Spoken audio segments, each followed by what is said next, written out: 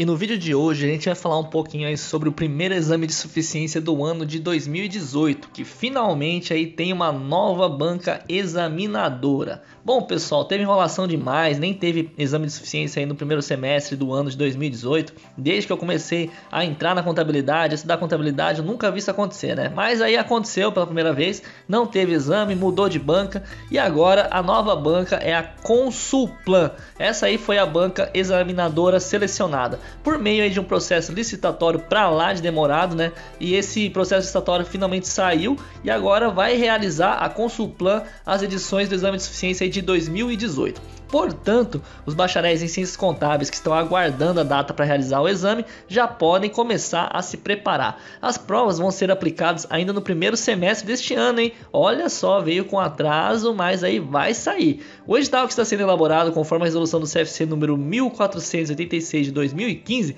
está em fase de revisão final e vai ser publicado nas próximas semanas. A expectativa é que as inscrições sejam abertas no próximo mês e as provas aplicadas em junho. A Consulplan ela vai ficar responsável pela organização, elaboração e aplicação das provas neste ano de 2018. Espero que também em 2019, né? Porque imagina a enrolação aí para trocar de banca de novo. Bom, vamos falar um pouquinho sobre o exame. A aprovação do exame de suficiência Todo mundo sabe aí que é condição obrigatória para que os bacharéis em ciências contábeis possam requerer o registro no Conselho Regional de Contabilidade e assim, né, finalmente passar a poder exercer a profissão. Desde que foi instituído por força de lei no ano de 2010, o exame já aprovou mais de 189 mil profissionais de contabilidade. O conteúdo programático aí cobrou dos candidatos na última edição realizada no segundo semestre de 2017 matérias clássicas aí que já foram abordadas aqui nesse canal, como contabilidade geral, contabilidade custo, contabilidade aplicada ao setor público, contabilidade gerencial, controladoria, teoria da contabilidade, legislação e ética profissional, princípios de contabilidade e normas brasileiras de contabilidade. Sem contar também a clássica auditoria contábil, perícia contábil, noções de direito, matemática financeira e estatística e língua portuguesa. Então, provavelmente eles vão continuar cobrando as mesmas coisas, né? Só mudou a banca. Bom, quem que pode fazer o exame? De acordo com a resolução do CFC, do Conselho Federal de Contabilidade, a resolução número 1486 de 2015, o exame ele pode ser prestado pelos bacharéis e estudantes do último ano letivo do curso de Ciências Contábeis, né? Então, quem está no último ano letivo já pode fazer o exame de suficiência.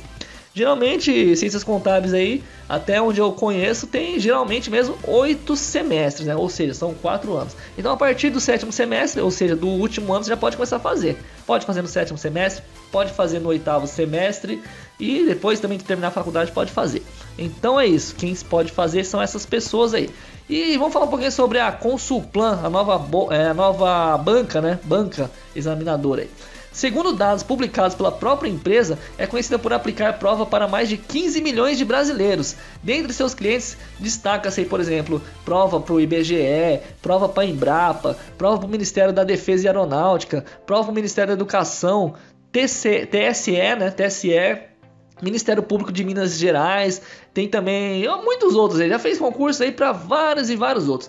Eu vou deixar um link para vocês clicar aí e conhecer o que, que é a Consulplan, qual que é a nova banca aí. Tem um site deles aí, o consulplan.net, e eles falam ali que em quase duas décadas de prestação de serviço, a Consulplan se transformou na maior organizadora privada de concursos públicos e avaliações educacionais do Brasil e tem a sede ali instalada em Muriaé, Minas Gerais. Então essa é a nova banca. Já fez vários concursos públicos e agora também vai fazer o exame de suficiência. Quem quiser acessar o site, eu vou deixar aqui no vídeo e também na descrição. Então é isso, pessoal. Nova banca aí agora para fazer o exame de suficiência.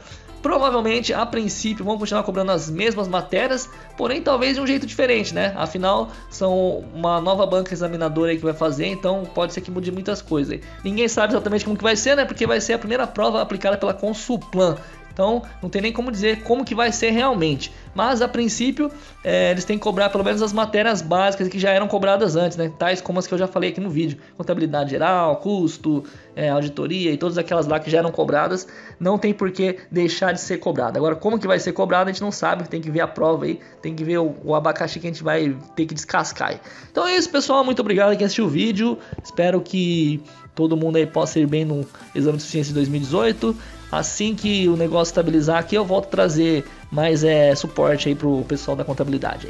Muito obrigado, inscrevam-se no canal e deixe seu gostei, compartilhe essa notícia aí com todos os seus amigos acadêmicos. E agora lembre-se, né, contabilidade TV aí agora não é só resolução de questão, né? Tem muito material que além disso, né?